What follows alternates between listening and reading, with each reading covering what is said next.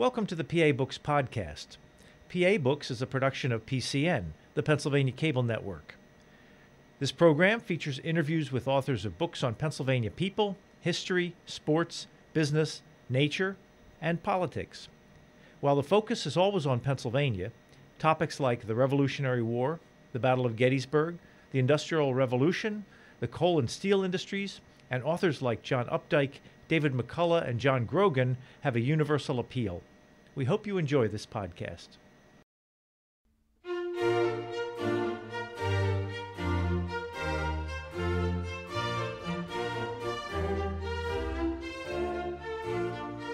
This week on PA Books, Patrick Spero, author of Frontier Country. Patrick Spero, author of Frontier Country The Politics of War in Early Pennsylvania. Why'd you write your book? Oh, that's a great question. Um, I think it was. Uh, I. that is a very long. The answer to that is very long and complicated, but at the core is um, archival research. Uh, while I was in the Historical Society of Pennsylvania, I began discovering stories that I had never come across before in Pennsylvania's past, of Pennsylvania's past. And the more I dug, the more I realized there were some incredible stories that are not well known, and that it was my job to try and tell them to a, to a wider audience. Well, what kind of things did you come across while you're doing this book that you had to tell people? You know, you run into somebody the next day and say, "Oh, did you know this about Pennsylvania?" Sure. Uh, you know, I think the book is littered with stories that are like that. Um, the ones that I think get people's attention the most is the idea that Pennsylvania was essentially at war since 1730. Um, from 1730 to about the through the American Revolution, Pennsylvania is in a constant state of war, which is very different from the way we think about Pennsylvania as this Quaker colony, as the pacifist colony, as a colony that was in an era of long peace because of its peaceful relations with Native Americans. And what I realized is that Pennsylvania was fighting wars against colonies. Um, they fought a war against Connecticut. They fought a war against Virginia. They fought a war against uh, uh, Maryland when I tell people this, they say, "What do you mean Pennsylvania was at war with their other colonies in the British Empire? This is is this like the Civil War? This is totally new to them." Um, so that, that's usually uh, the thing that I think gets people's uh, attention the most. Um, but then, of course, there are a bunch of little rebellions that I found throughout Pennsylvania's history in the 1760s during what we call the Imperial Crisis, and we're really familiar with a lot of the events that happened in the seaports in Philadelphia and Boston and New York, the Sons of Liberty, the Tea Parties, the Stamp Act protests. But what I found is that on the frontier of Pennsylvania, there are all these rebellions that are happening at the same time, but for very different reasons. Well, the, the uh, let's we could jump around and. Uh, spend the time just skipping from sure there's a lot in there site, know, but yeah. you, you, mentioned Connecticut mm-hmm. a border war with Connecticut but Pennsylvania does not touch Connecticut Yes, uh, this is uh, one of the things that happened in North America is the the charters. Every colony received a charter, and these charters that are drawn up in London, often in the 17th century, when these kind of imperial grand strategists have no idea about where things actually are. They're geographic. Uh, we we have GIS today. We can pinpoint things there. They, they, they were getting longitude and latitude wrong, and so these charters were. Um, when they were sitting in London, kind of clear, but when they actually came, colonists came on the ground, there were all these disputes over where the boundaries were and where they weren't. And so Connecticut had this uh, charter that kind of said that they could go all the way to the to to the Western Ocean. And so New York then got in their way. And by the 1760s, Connecticut, which was their population had grown to a point where a lot of families were running out of land to give to their second sons and third sons, they started to reinterpret uh, their charter and say, hey, you know what?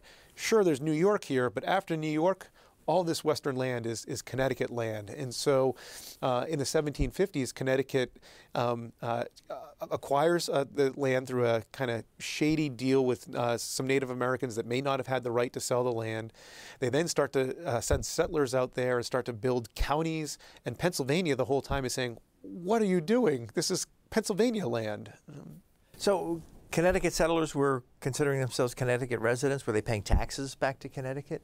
Uh, well, so at first, no. And in fact, it was uh, the it was an interesting um, project. So Connecticut actually gave the rights to develop the land to something called the Susquehanna Company. It was kind of what we would think of as a private-public partnership today, where uh, a group of individuals um, uh, were given the land, and then they would resell the land to, to others.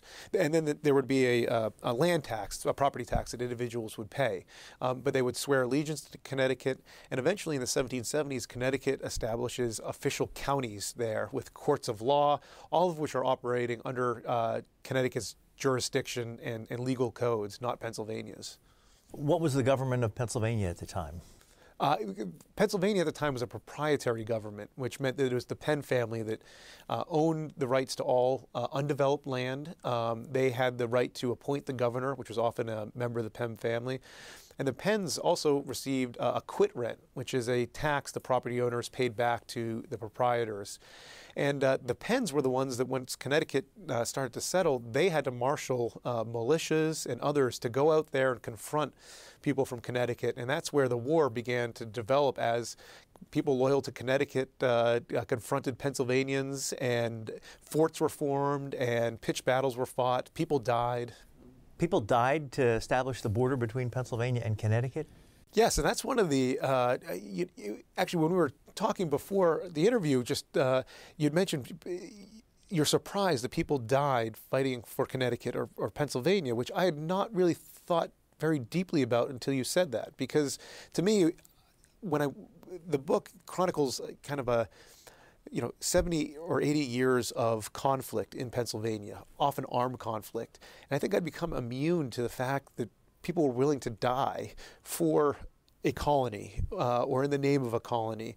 Um, but when you said that, it actually made me think a little bit more about what that really meant that individuals were so loyal to a colony that they were willing to take up arms, put their lives in danger, um, something that I don't think we would ever think about doing today um, when we think about states. And of course, there's competition between New Jersey and Pennsylvania. There's various, you know, tax policies and codes, but we'd never think about, you know, confronting New Jersey in an armed armed confrontation and people willing to enlist to fight uh, New Jersey or Connecticut or New York.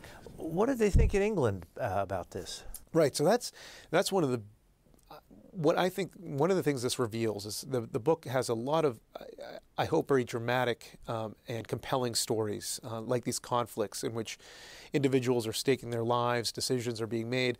But the larger point uh, is that here's a British Empire that is unable to manage its colonial holdings. Um, the, the reason that colonies are going to war with each other, I think that's first off, that's evidence of a failure of the British Empire that helps us understand the American Revolution. Again, trying to shift our focus away from the seaports but into these western and frontier areas to show here's an empire that is trying to assert control over all these domains, and yet the colonies within it are fighting each other. And so the empire itself is uh, it, it's slow moving. Um, information is first off slow to arrive there, and then processing information takes uh, time, decision making takes time, and then conveying those decisions back across the Atlantic takes even more time. And you often see those that are in charge of colonies, whether it's the Penns or it's the governors of Connecticut or Virginia, they actually don't want to take their complaints to the empire because they don't know how they're going to decide. You know, if if Connecticut or if Pennsylvania can get rid of Connecticut through force of arms, then they'll know that they win. If they take it to the British Empire, the charters are actually confusing and contradictory. And might a British court decide for Connecticut over Pennsylvania because Connecticut received its charter before Pennsylvania and therefore supersedes Pennsylvania's claims and all these other things? So there's um, this is a, a, a evidence of the empire's kind of failure. So, what did the Pennsylvania Charter actually say that when it defined the borders that was ambiguous? Right, uh, and, and, there's a kind of constant ambiguity about how to interpret Pennsylvania's uh, uh, charter. In my book, there's a great map that shows this is what Pennsylvania should look like if you have a literal reading of the charter, and it would be further north. Uh, Philadelphia technically, there's a strong argument that Philadelphia should be in Maryland. Uh, the western border should, uh, uh, there was an interpretation that said the western border should follow the exact outlines of the Delaware River. Um, and it goes north into, into New York. Um, so uh, the Pennsylvania Charter is uh, the Delaware River, and then it's the western uh, boundary is unclear, and the southern boundary and the northern boundary should be further further north. So, so who won the shooting war between Pennsylvania and Connecticut? Well, uh, in the short term, Connecticut did. Uh, one of the things that I show in my book is that by the 1770s, many Pennsylvanians, especially those outside of Philadelphia, had really lost faith in the colony, and they began to side. They either, uh, you know, took part in these rebellions that challenged the, the colonial government and the imperial government, or in the case of Connecticut, they started to side with Connecticut. Uh, we, I have evidence of settlers in Lancaster County kind of streaming up the Susquehanna River to fight on behalf of Connecticut. And so you begin to see colonists beginning to lose faith in, in, in uh, Pennsylvania's government and instead siding with Connecticut. And therefore, Connecticut's able to, through force of arms, push back Pennsylvania.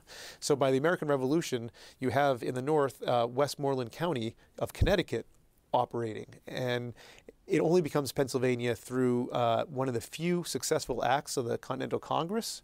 Uh, the Articles um, of uh, Confederation, they have a, a, clause. It's interesting. It's the longest clause of the Articles, and it is how to uh, manage border disputes. Because colonists knew how many there were and how problematic they were. And so this uh, clause says that there needs to be a court uh, held with justices, uh, a neutral body of justices, to hear the case, and that that body would adjudicate these border disputes. And so this conflict was taken to this court. It's one of the uh, only times it was called. It's one of the successful acts of uh, the uh, Continental Congress, and it decides on behalf of Pennsylvania. And so that's when it begins to become Pennsylvania again. You, you, you describe a battle in there where Pennsylvania sent 700 troops and Connecticut had 250 and Pennsylvania lost? Right. No, I, I mean, uh, and Pennsylvania was trying to, throughout this, uh, really assert their uh, uh authority. Uh, they were able to marshal um, their own uh, militias.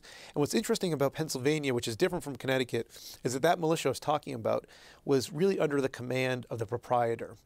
What you had uh, in Pennsylvania was a uh, the assembly or the legislature at the time uh, was generally unwilling to support the proprietor in a whole range of things, and so really the proprietor had to fund these militias.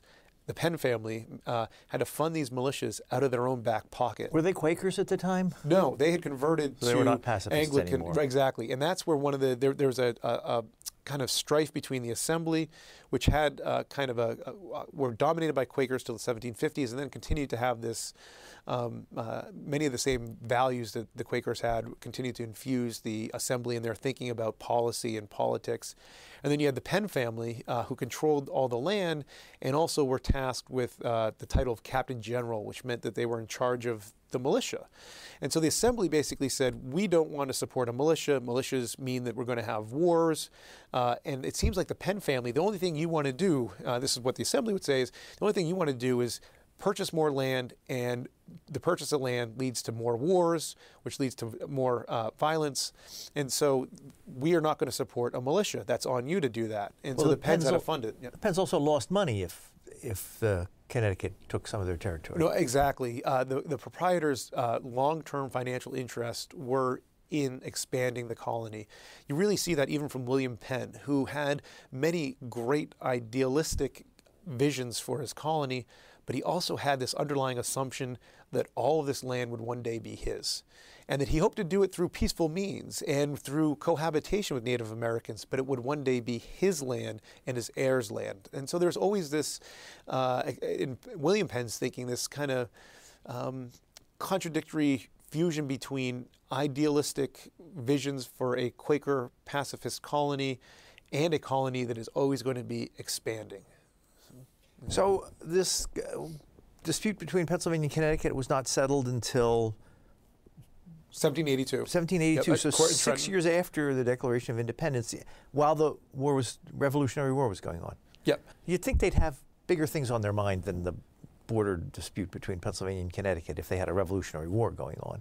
No, absolutely. And uh, what, what's interesting is there's also a, a, conflict going on in Virginia at the same time. So this is 1782. I think this is Congress after Battle of Yorktown.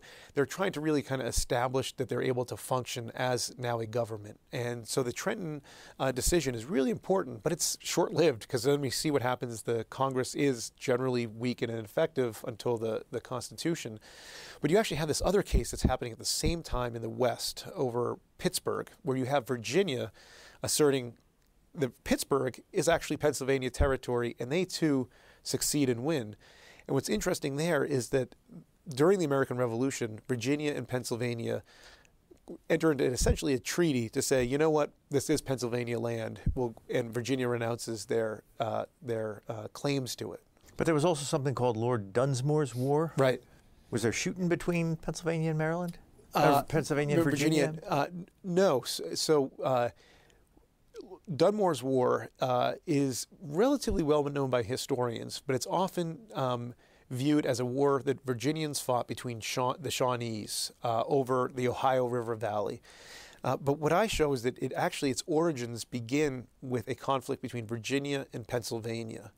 So after the French and Indian War, Virginia claims that Fort Pitt and all that surrounding territory out there, which is so important to the future of North America. Whoever controls Fort Pitt and the you know the the forks, uh, the three rivers that uh, uh, collide there in the, the Ohio, controls the future of North America. That's where all the trade is going to go. Which is why George Washington, young George Washington, went there before the French and Indians. Exactly. Uh, Washington owns a ton of land out there because he sees this is the future. And so after the French and Indian War, Virginia says, well, this is our land. Uh, and Pennsylvania, recognizing that, well, this is very valuable land that controls trade, it's our land too. And so you have Dunmore, uh, Lord Dunmore is the governor of uh, uh, Virginia. He goes out there. He has a number of uh, agents out there who start doling out militias, uh, uh, um, appointments in militias, free land, getting all these settlers to support Virginia. And Pennsylvania is out there saying, no, no, no, this is our land. You should really support Pennsylvania too. And so you have this competition going on there. And once again, you see more settlers side with Virginia. I do have to read this part where you're right about uh, both Virginia and Pennsylvania saw that having a colony in the Ohio Valley would enhance the possibility for peace by providing a safety valve for the worst of the people who will retreat to this new country, leaving the best who are the most consequence behind in Pennsylvania. So the worst people would go the, to Pittsburgh and leave the good people behind. Yeah, yeah. Uh, this that, that, was one of the most revealing quotes uh, that I found in the sources. It actually kind of speaks to a larger theory about uh, American expansion, um, which is that the frontier served as a safety valve. That one of the reasons America uh, has been relatively stable, especially in the 19th century uh, when you compare it to European uh, urban revolutions and revolts. You know, we had a civil war over slavery, but we didn't have the same type of urban revolts that you saw in Europe. And there's this theory that the frontier served as a safety valve. And here you see in the 18th century, that quote was from, uh, I believe, John Penn, who's the governor of Pennsylvania at the time, basically saying that that was one of their theories for expansion, that the frontier could serve as a safety valve for the most lawless people while uh, the more established people uh, could could stay to the east. You have something in here, I don't know if I can find it, that talked about uh, how the, uh, oh, here, the, the, the Paxton boys, you talk about them, and we can talk about them a little bit later. They were more politically coherent and unified group whose actions were meant to display their strength to Philadelphia through a show of martial force. And their ferocity of their murders and the size of their march was meant to show that a unified frontier people were more powerful than the government institutions like the jail in Lancaster they invaded. So even then, they saw the the people on the frontier as having different values than the people in the city.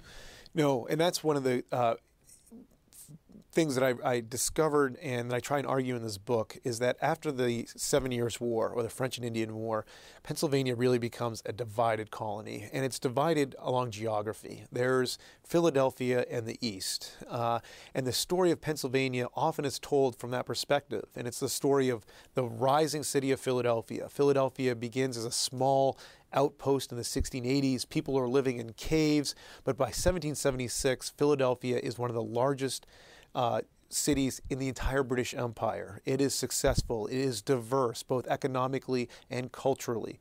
Um, But if you look to the west, there's a very different history of Pennsylvania. And if you think about Pennsylvania as a coherent colony, and yet uh, in a history that you have to integrate both east and west, you see in the in the west the disintegration of the colony. You have these rebellions like the Paxton Boys.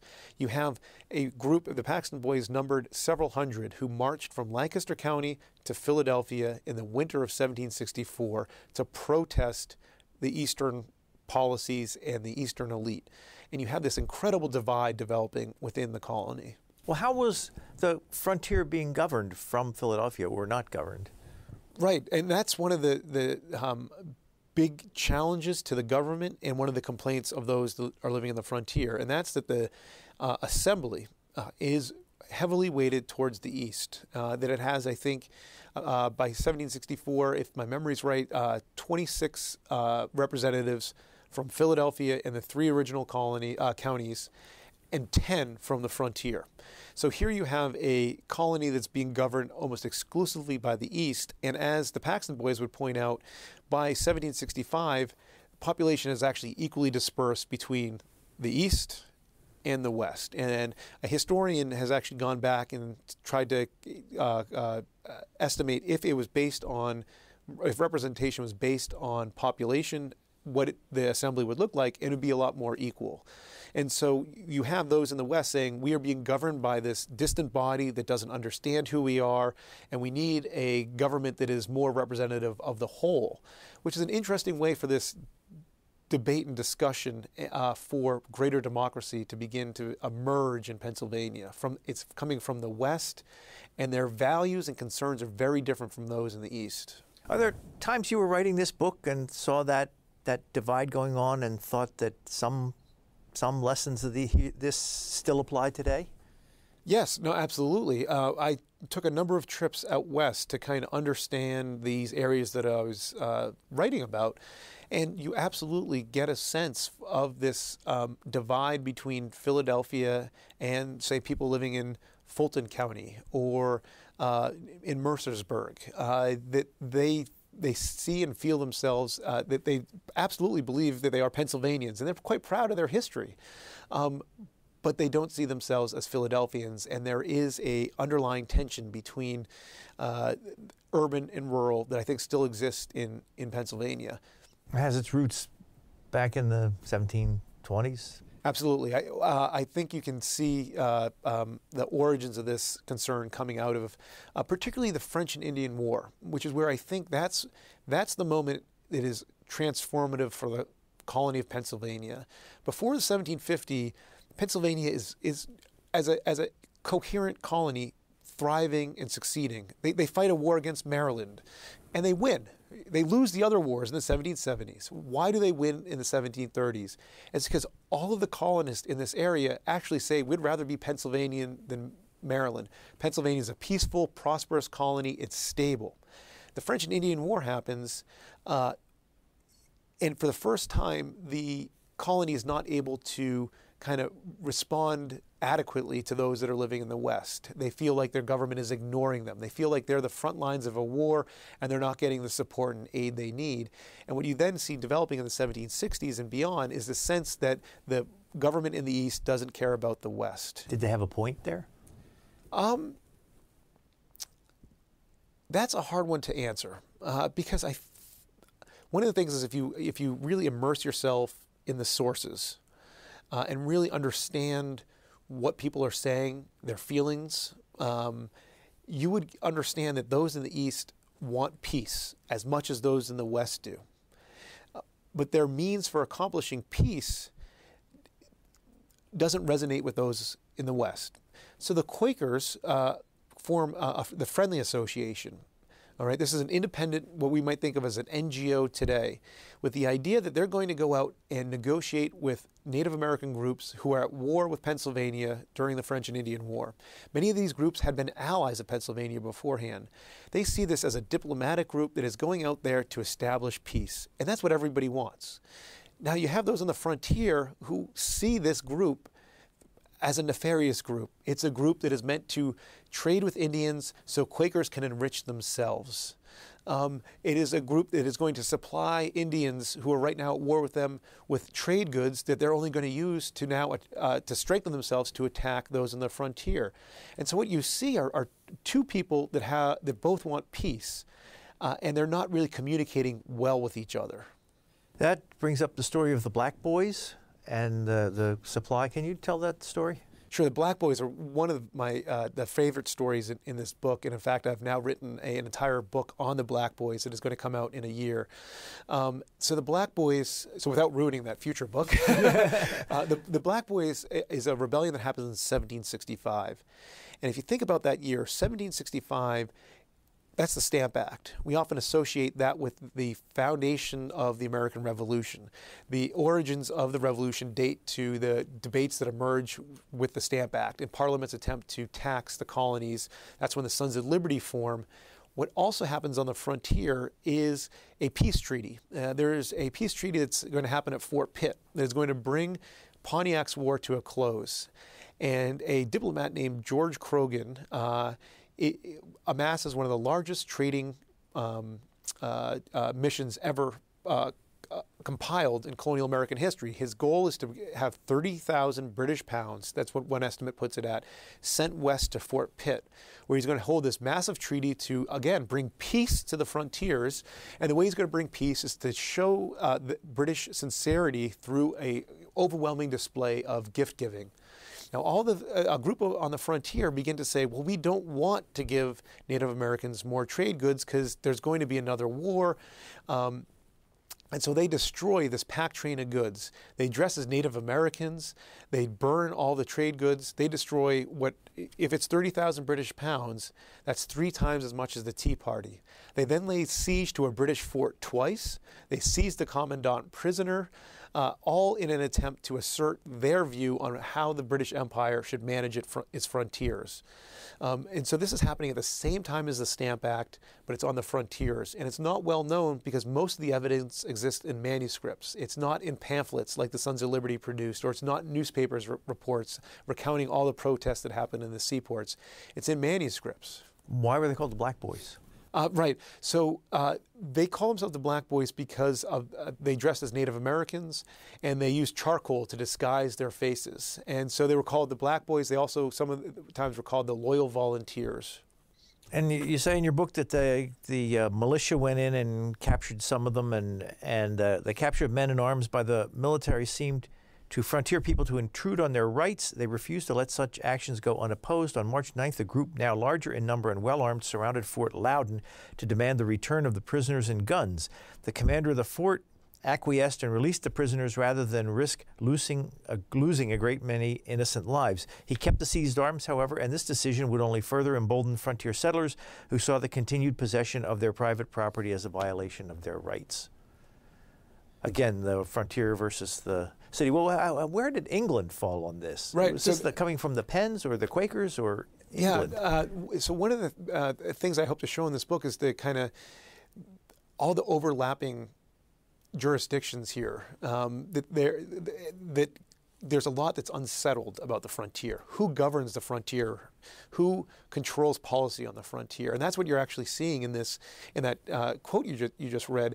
Because here's a, an issue that is very much what people in the East are complaining about: property rights. But in the East, it's about taxation. It's about uh, uh, you know trade regulation. And here it is about actually the seizure of guns. Um, that you have a British army uh, going out arresting individuals who may be uh, have, who are probably involved in the Black Boys Rebellion, and not only seizing them but also their private property. And then they release the, the men, but they continue to hold the private property.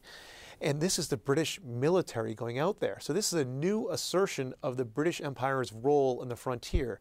Up until this point, it's the civil authorities that arrest people.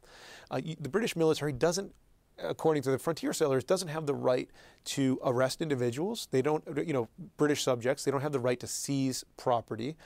Now, the British Empire is saying, well, you know, on these frontiers, we really need to maintain peace, and sometimes we have to take these type of measures in order to, you know, assert law and maintain order.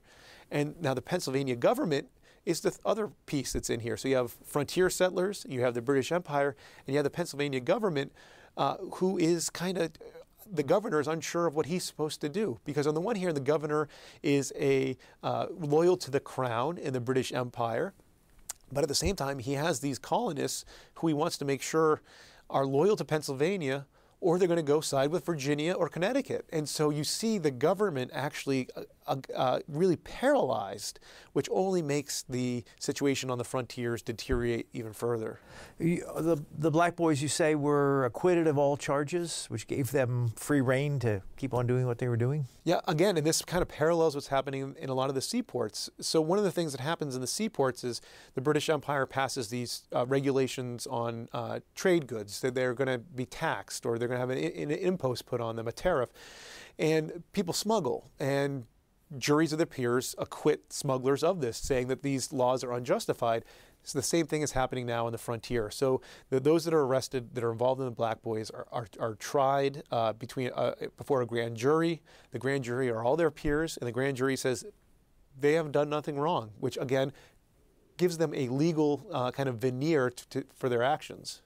And you say uh, also in your book, the Black Boys Rebellion confirmed for many people that Pennsylvania's government was far too weak for the task the empire expected of it. Thomas Gage likewise wondered if the government of Pennsylvania can even be called a government. Well, how did the Pennsylvania's government at the time then compare to Maryland, Connecticut, Virginia? Sure, and this is something that Ben Franklin is out in front of, uh, advocating that, in, Pennsylvania's mode of governance, which is again a proprietary government, which means the Penn families are in charge of the governorship. That is an antiquated model. It's from the 17th century, he says. All the other British colonies, or most of the other British colonies, are royal colonies, which means that the governor serves at the pleasure of the king and is firmly loyal to crown policies. And what you get with the proprietorship, Franklin says, is this person who is loyal to no one but themselves. And as a result, the government is ineffective. It is not able to maintain its order. And you do see that in the Black Boys Rebellion, where you have John Penn, who's the governor, kind of, uh, rather than asserting government authority, almost um, being at best neutral and maybe in some ways supportive of the black boys because again he's afraid that if the if he's too uh, uh, you know strong with the black boys he's going to lose the loyalty of these settlers who may go side with Virginia or Connecticut. Well, um, we we could talk about this for a long time, but we haven't really touched much on the uh, the war with Maryland. And it's uh, I have always read it as Cresap's War, and you have in here a, a Conojocular War. Yeah. What does that name mean? Sure. I, I, had a long debate myself over what to call the war. Um, so, and, and, this isn't in the book, but there's an interesting um, way this war is described. So, from 1730 to about 1738, Pennsylvania and Maryland are involved in a border conflict. Uh, again, militias are formed. Um, there are pitched battles. A few men die, and Pennsylvania historians, especially in the 19th century, have always called it Cresap's War. And it's called Cresap's War because Thomas Cresap is the leader of the Marylanders. He's appointed by Lord Baltimore. He sets up a house right at the almost right at the 41st parallel, which is where Maryland says their colony should start. Where is that? It's in, in... north of Philadelphia. Hmm. Um, so essentially, uh, in, one of the great stories is uh, eventually Pennsylvania is able to capture Thomas Cresap. He's arrested. He's brought to a jail in Lancaster, and they say we we don't feel like he's safe here. Marylanders are going to invade the jail and rescue Cresap. We need to bring him to Philadelphia. So Cresap is being brought into Philadelphia, and the streets are lined with Philadelphians uh, heckling him or harassing him. And Cresap, and this is in the records, you know, there's a, an account of it. He turns to his uh, jailer uh, uh and he says, um, "Damn it, Aston, uh, this is the prettiest town in Maryland."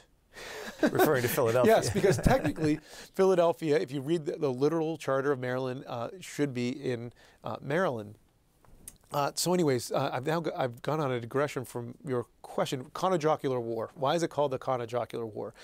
So, Pennsylvanians have always called it Cresap's War because they say this is an offensive action by Marylanders and by Thomas Cresap in particular. Now, Marylanders have written about this war as well, and they always call it the Conojocular War And they call it that because that's the this region of the Susquehanna Valley.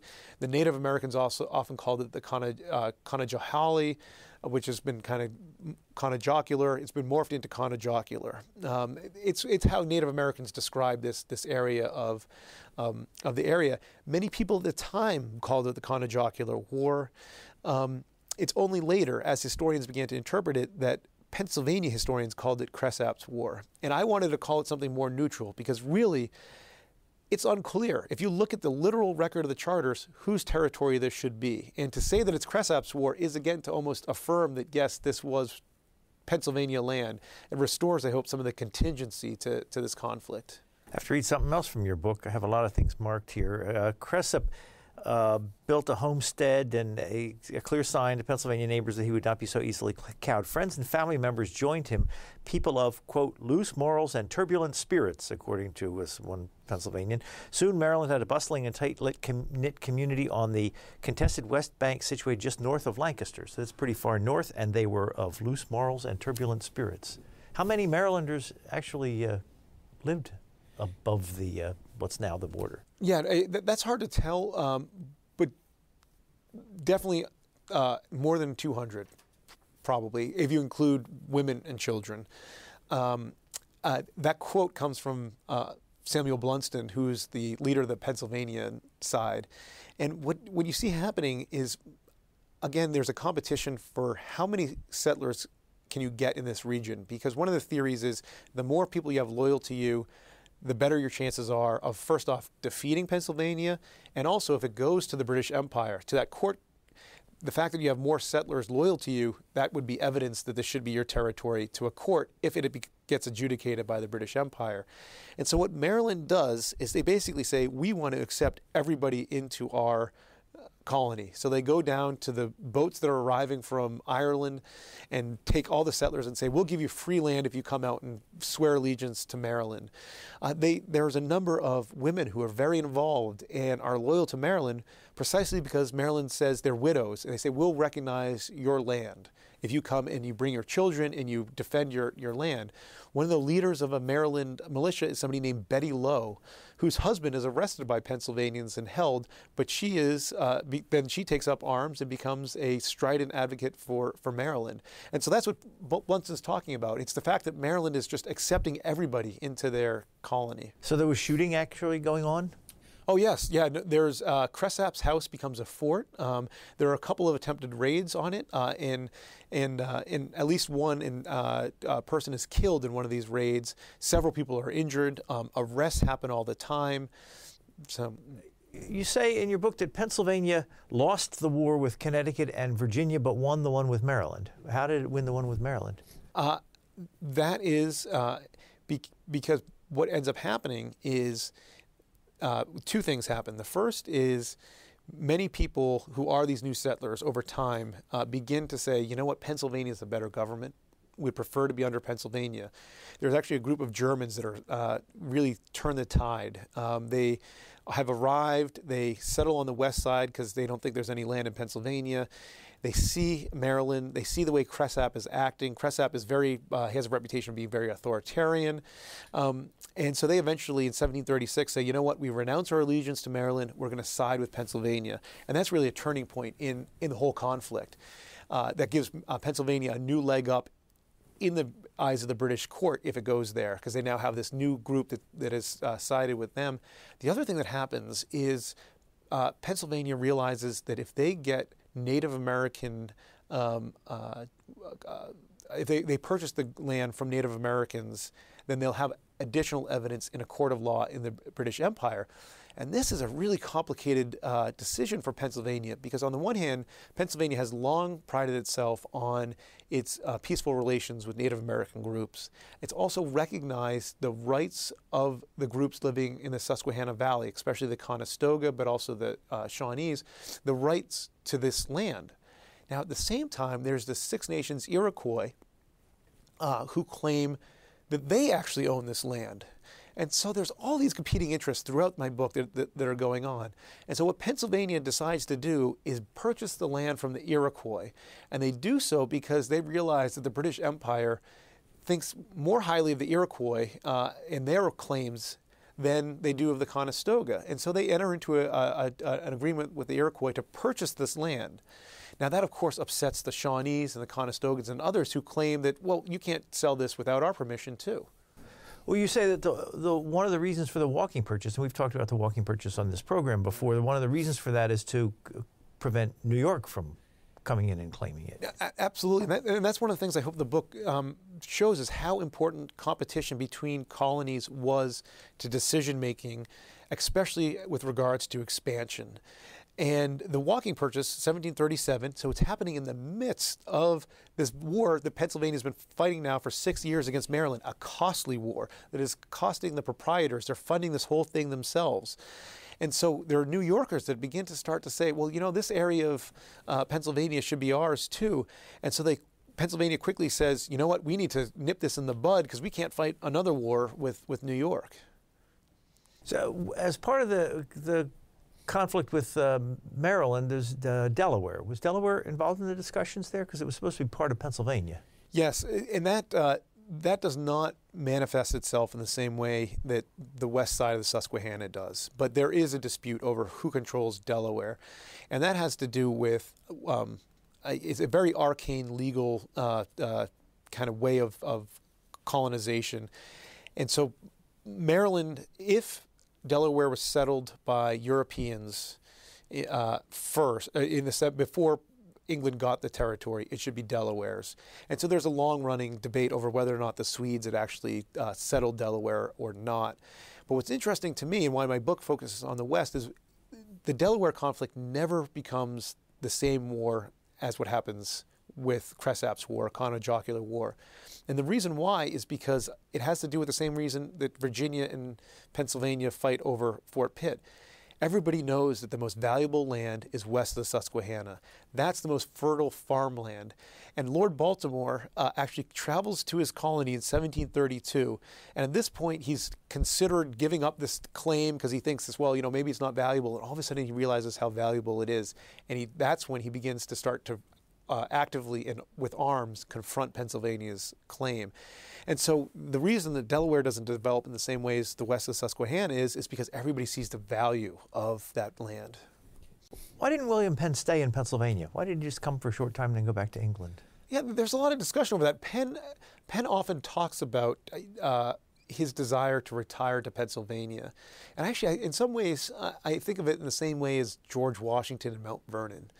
So Washington, from 1775, when he's appointed uh, uh, uh, you know, uh, commander of the Continental Army, goes to Cambridge until 1783. He spends virtually no time at Mount Vernon. And then as, during his presidency, he spends virtually no time in Mount Vernon. But he's always imagining Mount Vernon. It's this place that is perfect. It's his, his, it's his escape from the trials and tribulations of war and the presidency. And so for William Penn, Pennsylvania serves that same purpose. He is in England uh, the vast majority of his time because he has to defend Pennsylvania. He has to lobby for it. He, in order for Pennsylvania to succeed, he has to be in England. And he's always imagining the peace of Pennsylvania and his desire to reti- retire there. Um, but he can't because, in order for Pennsylvania to succeed, he has to be in England. He has to be lobbying the crown. He has to be fighting for the rights of Pennsylvania against people like the Baltimores who are trying to claim uh, the land. Lord Baltimore was back in England also? Oh, yes. Yeah, yeah. In this earlier period. Yeah. yeah. What do you do when you're not writing books? Uh, I am the librarian of the American Philosophical Society um, which is uh, one of the oldest institutions in Philadelphia. Um, it is an incredible uh, organization. It was founded in 1743 by Benjamin Franklin. Uh, Franklin founded it to advance uh, scholarship. Uh, to its uh, mission is to promote useful knowledge. Um, and today it functions as one of the oldest learned societies in the world. It's the old, oldest learned society in America, and it has a research library, which is what I oversee. It has over 13 million pages of manuscripts that take up 2.5 miles of shelf space. Uh, we have over 200,000 rare books. Uh, we are the stewards of Benjamin Franklin's papers. They're in our vault, the journals of Lewis and Clark. Uh, but we're also continuing to collect. So we have one of the largest collections of ethnographic and linguistic material in the world. And we also have uh, the papers of seven Nobel laureates in our uh, vaults. And we're continuing to acquire new, new collections all the time. Is it open to the public? Yes, it is. Uh, anybody that wants to conduct research um, is free to use our reading room. Uh, we have over 1,600 reader days a year. Uh, we also host a number of uh, public lectures. Uh, we have a uh, book series. Um, we also host conferences and offer fellowships for kind of advanced researchers. How do people get to be members? Um, so APS has something called uh, members, uh, and there are about 850 uh, members in the United States and about 1,000 total in, in the world. And this is uh, membership is given to those who are distinguished for their contributions to the advancement of knowledge, our mission. Um, and this cuts across disciplines. They can be artists, uh, they can be musicians, they can be scientists, they can be historians. Uh, Yo Yo Ma is a member of the APS. 100 Nobel laureates are a member of the APS. And you don't even know that you're up for membership. What happens is you receive a letter in the mail and say, Welcome to the APS, you've been elected a member you have meetings where members sit yes, around and yep. say twice a year. Things? Exactly, uh, twice twice a year we host uh, meetings.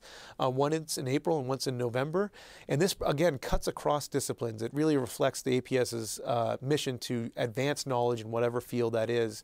And so these meetings uh, have about 400 uh, members and guests come and he- to hear the cutting edge research in a wide variety of fields. So we could have, for instance, a leading uh, Shakespearean come and uh, give a uh, one person uh, monologue.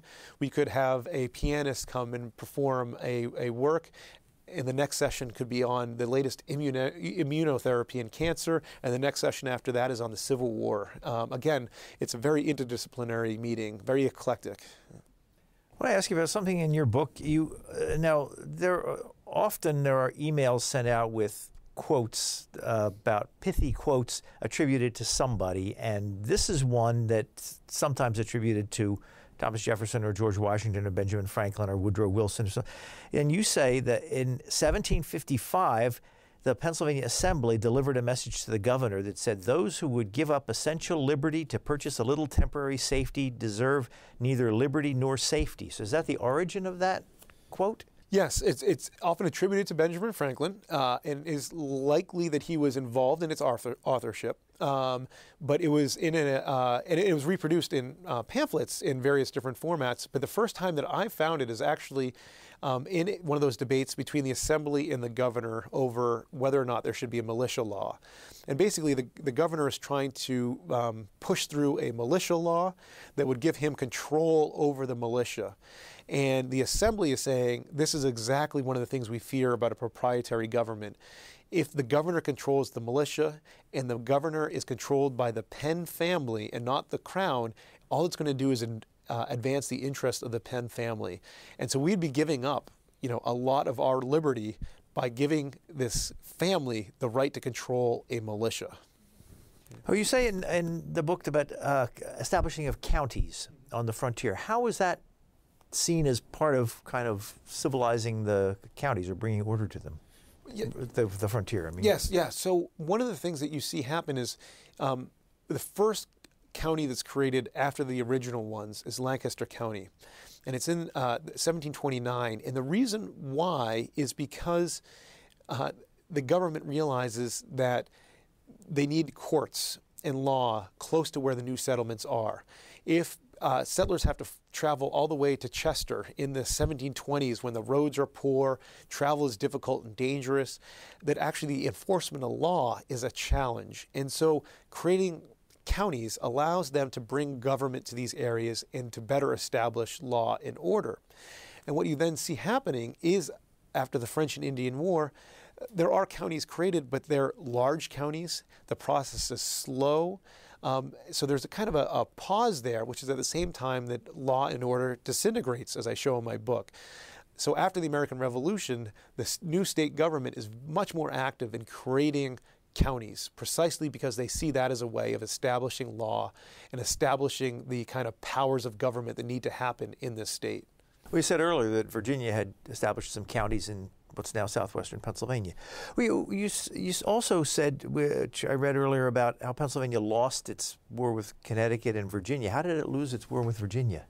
Yeah, uh, so what happens is uh, after Dunmore goes out there and asserts Virginia's uh, um, control, there's this great, there's a, uh, Pennsylvania sends out somebody named Arthur St. Clair, and there are, both of these colonies are competing, and more people side with Virginia. But then Virginia launches a war against the Shawnees, which just convinces all of these colonists that yes, Virginia is the colony we want to side with because they see Indians as enemies. Pennsylvania sees Indians as potential trading partners.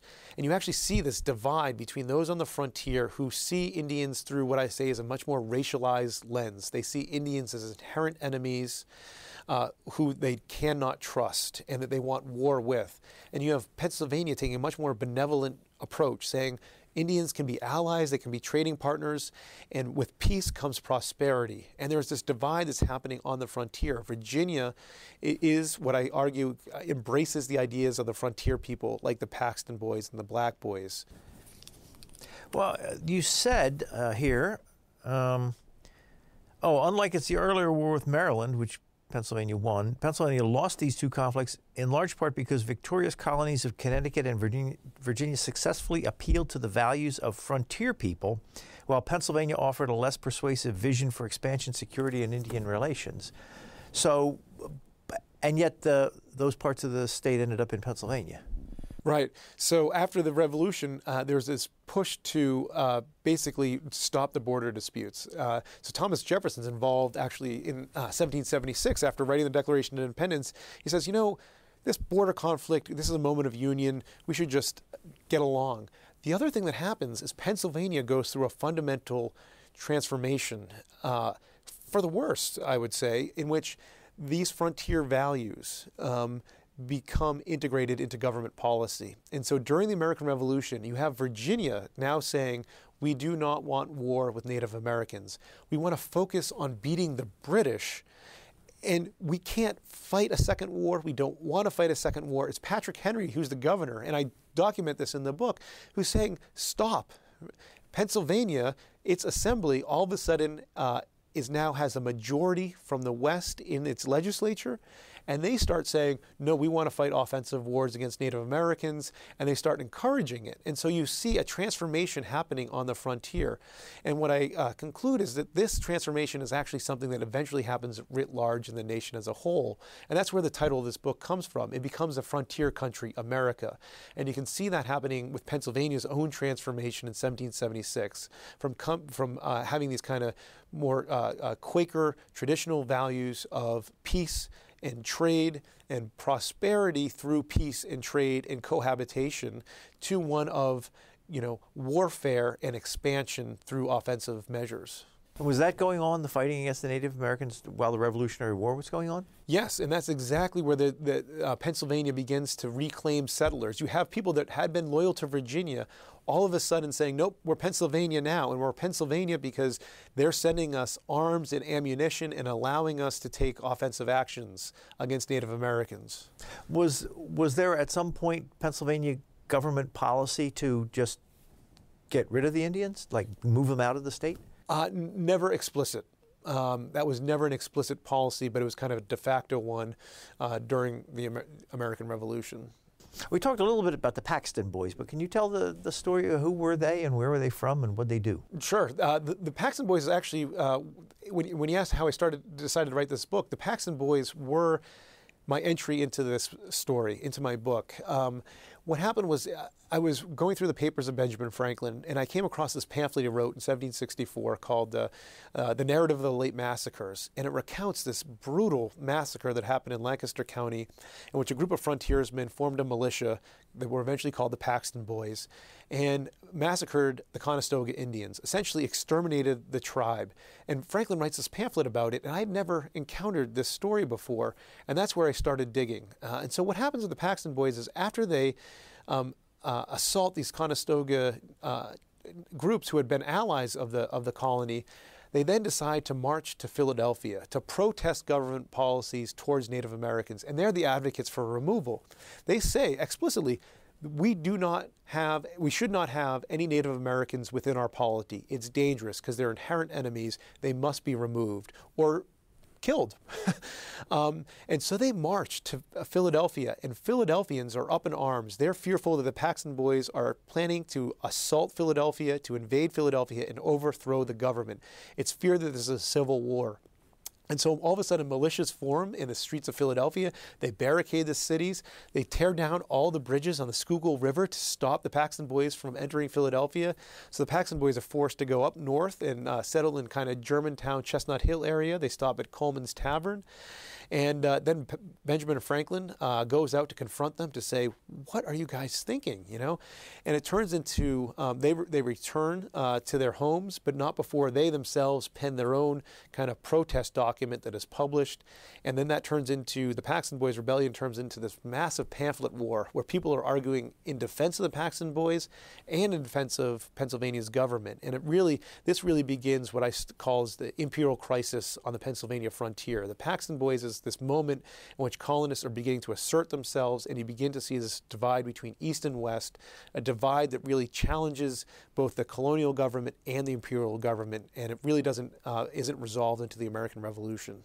Did the, the Pennsylvania have a militia that confronted the Paxton Boys, or did they not have so they had British troops in uh, Philadelphia, many of whom are prepared uh, to, to fight, but they are not actively uh, uh um, uh, kind of ready to confront the Paxton Boys. So British troops and not Pennsylvania well, no, they they stay in their forts, but they are they're prepared. They're preparing mm-hmm. for the potentiality. Mm-hmm. But there are Philadelphians who take up arms. There are Germans who take up arms. There are reported to be Quakers who decide to take up arms uh, during this, which then becomes a, a kind of a uh, controversy with the Paxton Boys. The fact that pa- Quakers uh, are taking up arms, even though they say they're pacifists and stuff.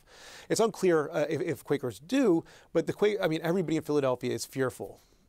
Did this shift in Pennsylvania policy more favoring the people on the frontier? Was that uh, people in the Pennsylvania government changed their minds, or did different people come in and get involved with the government? No, it was it was a transformation in the composition of the government. Uh, so before the American Revolution, again, the frontier is underrepresented in the legislature. One of the things revolution the uh, people in charge of the revolution do is they begin to see the traditional elite, governing elite, as um, uh, you know, kind of the enemies of the revolution. And so they want to really eviscerate any of their power. So they give the legislature, uh, you know, the frontier representation in the legislature that's equal to their population. And in fact, it's equal representation per county. So I believe the representation is two to one frontier counties to eastern counties. And so that's where this origin of the, of the change in the policy comes also through this more democratic revolution. So it's one of the ironies of democracy that it becomes more democratic, and yet at the same time it becomes more violent, and uh, the kind of racialized views of Native Americans become more ingrained into government policy. When did the Penn family finally lose control over Pennsylvania? In 1776, um, they are uh, uh, essentially um, the government is taken over. Uh, they, there's a new um, uh, government. There's something called the Supreme Executive Council that functions as a quasi governorship. Uh, now, what's interesting about the Penns is that they stay around and they are actually not that disliked. Um, and it becomes so much so that John Penn eventually returns to the colony after the American Revolution. He lives in Philadelphia. The uh, government of colony uh, of, of, Pennsylvania gives the uh, Penn family, they kind of reimburse them for lost land. Penn is buried uh, in a uh, ceremony at Christ Church, and leaders of the revolution are pallbearers in his funeral. So the, the Penns, um, they lose their land, but they are compensated, which is really revealing since a lot of loyalists are not compensated, and they are treated well. What side of the revolution were the Penns on? Well, uh, well, they were loyalist um, in theory, uh, but you could, in some of John Penn's uh, correspondence, he's also sympathetic to some of the uh, complaints against against the crown. Well, we are out of time. We've been speaking with Patrick Spero. He's the author of this book, Frontier Country: The Politics of War in Early Pennsylvania. Thank you very much. Thank you. You've been listening to a podcast of PA Books, a production of PCN, the Pennsylvania Cable Network. We'd like to hear from you. Our email address is pabooks at pcntv.com. Like us on Facebook to learn more about PA Books.